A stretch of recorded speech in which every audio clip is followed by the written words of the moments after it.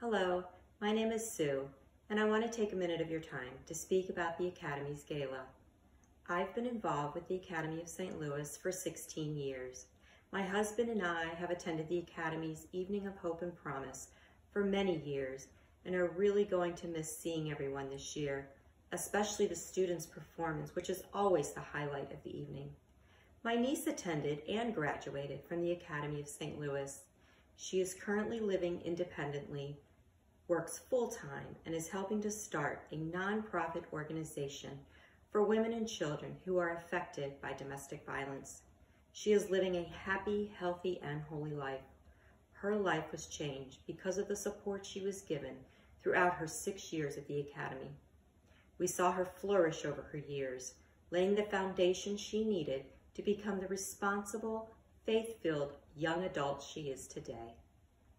Although we are unable to come together this year to attend the gala, we can still unite and support the Academy and their mission. I ask you to respectfully and prayerfully consider donating to this very special school. God bless.